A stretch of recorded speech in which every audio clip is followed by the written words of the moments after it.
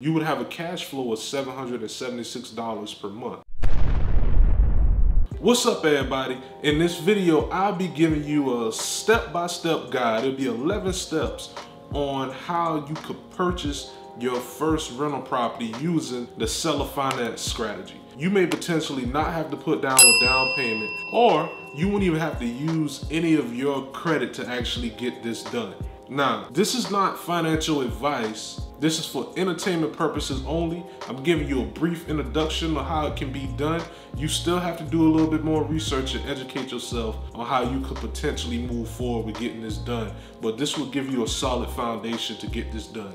Let's get into it. Now, in step one, it's all about down payment. Now, you wanna put money aside and continue to put money aside in case you run into that property that you may wanna purchase and you gotta put down a down payment to actually get the property closed on. Now, how I always look at it when it comes to seller finance, I always go in with the mindset that the seller wouldn't want anything down.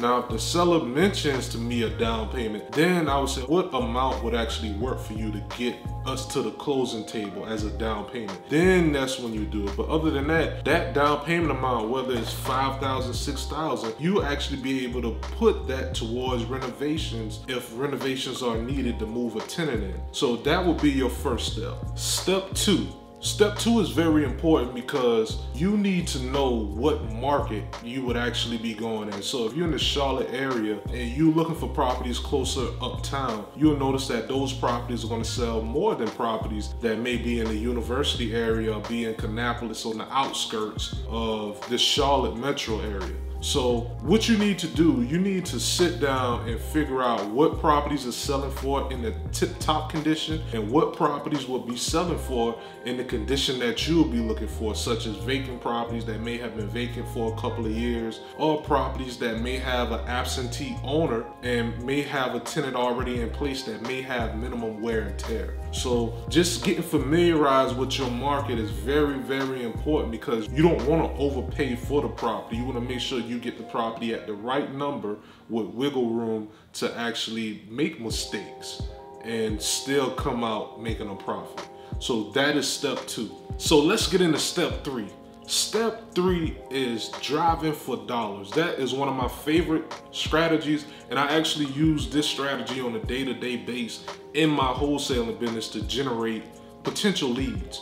So with driving for dollars, you would actually have to download the Deal Machine app and the Deal Machine app would be $60 per month. But what it's gonna do, it's gonna actually be able to give you the seller's information so that you can actually export the Excel spreadsheet out of Deal Machine and into a skip tracing service, which I will mention in a later step. So what you'll do, you'll take a picture of the home so you can remember exactly how it looks and you'll look for vacant properties or properties that may be owned by absentee owner, which means someone that doesn't live in the property but they have a tenant in place. And what you'll be able to do is call these sellers and see if they would actually want to sell. This is a good app that you can use, but you can also use the free route. The free route would actually just use pen and paper, write down the address to the property, and then go home and research the owner of the property because it's all public records. So that's what you would do in step three. Let's go to step four. So in step four,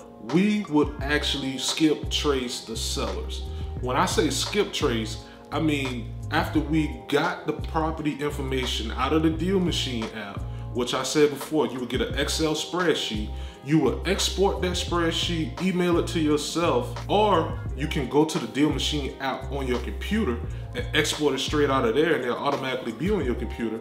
And you would actually upload that Excel spreadsheet to a skip tracing service such as REI Skip uh, Batch Skip Tracing. Batch Skip Tracing is my favorite because I have more hits with their phone numbers. And also, you will never get 100% accurate phone numbers whenever you are skip tracing. Some of the numbers gonna work, some of the numbers won't. You'll get mobile numbers and you'll get landlines that you can actually call these sellers and you would also get emails. So what you would do once you skip trace those phone numbers, you can either hand dial one by one each property. Let's say in the Deal Machine app, you got 50 properties one day. You would hand out each phone number until you get through all 50 properties to see if any of these sellers want to sell. If they don't, Actually, can you follow up with them? If they do, let's go to the next step, which is step five. Step five. Step five is one of my favorites. And the reason why, because I am able to track that 84% of everyone that's viewing my videos are not subscribers to the channel. Listen, if you want to continue to get great content from me, and if you are enjoying the content, if, if you would be so kind, just hit the subscribe button, like the video, and also turn on the notification bell because I would also continue to make more real estate videos on other topics as well. That's going to help benefit you and help benefit everyone else too. And it's going to help boost this content in the algorithm as well too. So just take that one second to do that for me and let's get back into the content. All right, so let's get into the real step five. So step five is give the sellers a call. So once you're able to get the correct phone number and you reach out to the sellers. Now you want to see if they want to sell. If they want to sell, they're going to tell you yes. And at that point, you just need to collect more details on the property condition. Is it a tenant in there? When is the tenant leases up? You just need to collect all that information to figure out what the property is actually worth. The most important thing is the property condition. Because then if you're not familiar with running comps, there's videos on YouTube that can teach you how to run comps. You can also sit down with a realtor and see if they would actually help you with seeing what the property is worth once you collect that information and get pictures on the property. So that would actually be your step five, getting that information from the seller and preparing yourself to make an offer. Let's get into step six. So step six, step six is making your educated offer based off of the information that you collect and the information or the information you got from your realtor. So at this particular point, what you would do is if the seller agreed to your, your price, you're gonna put it under contract. So remember, we're not giving out a cash offer, which will be 200,000 or 300,000. We may purchase the property at 200,000, but we may not put anything down or we may purchase it at 200,000 and the seller may want 2,500 down as a down payment and you make payments to them every single month. So in this particular scenario, let's say that, let's say you agree to a price with the seller of $200,000. At closing, you attempt to not give a down payment at closing, but the seller asks for one and you guys actually agree on a 2,500 down payment. That's gonna actually create a loan amount of $197,500 and that's gonna create a mortgage amount of $549 per month. Property taxes in my area, in the Charlotte area, will be around $179 per month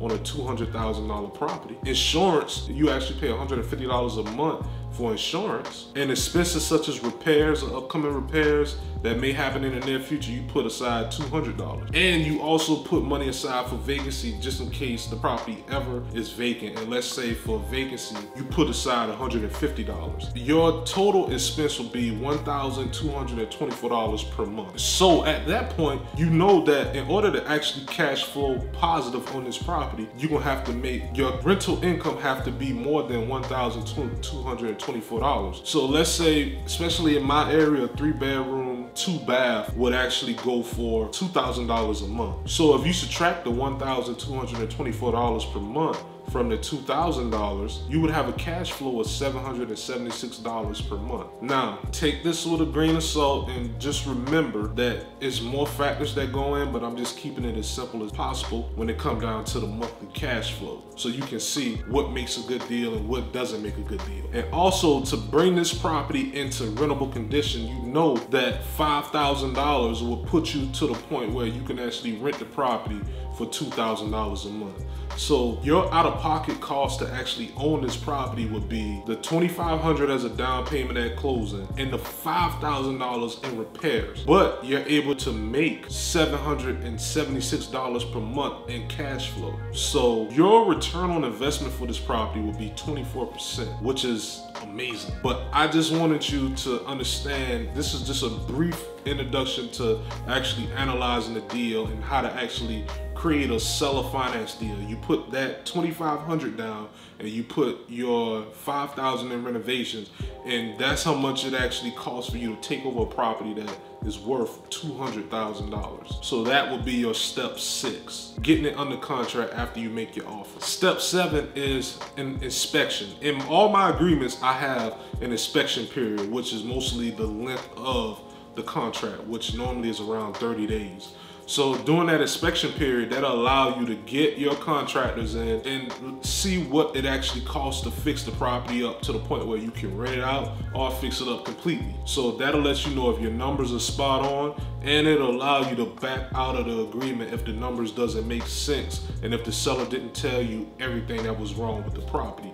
So that would be what you would do in step seven is get an actual cost of what it will cost to get the property fixed up. After you verify all those things and you got a solid number in place and you got a property under contract and you agree to everything, it's time to move on to step eight, which is close on the property. I use real estate attorneys to close on properties and close on wholesale deals that I do.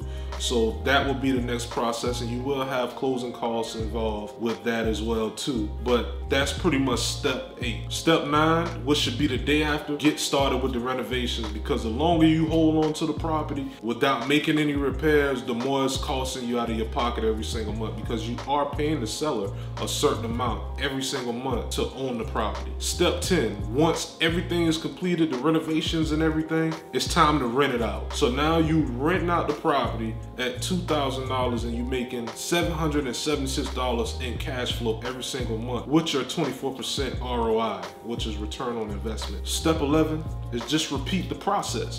Repeat the process over and over and guess what? Since you're not going the conventional route, you don't have to worry about potentially running out of the amount of loans that you can take out. Once you use seller finance, you can get 100 seller finance deals in one month if you want to, if you can handle it, if you got the team to handle that. So that's step 11, just repeat the process. Now, I have other videos of how you can actually get started in real estate investing with no money down, with no credit. I'm gonna link it here. Please feel free to check it out. And if you enjoy this content, definitely hit the like button. Please hit the like button, subscribe, and turn on the notification bell because I'll continue to make more content such as this one. And make sure you check out my videos that I will have here and here that may be an interest of you. And I'll see you next time.